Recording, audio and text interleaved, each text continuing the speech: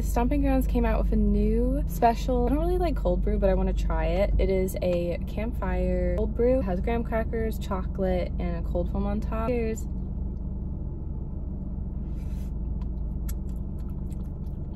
The top, good. Tastes like a s'more. Mm -hmm.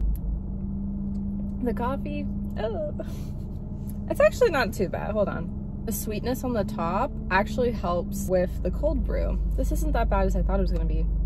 I wouldn't be opposed getting it again because the sweet on top with the graham crackers, cold foam, the chocolate helps with the flavor. Because the cold brew is really strong, all the sweetness on top really helps make the cold brew a little bit sweeter. So I like it, okay. And that's gonna be all for this video today. I hope you guys enjoyed it and I'll see you guys next time, bye.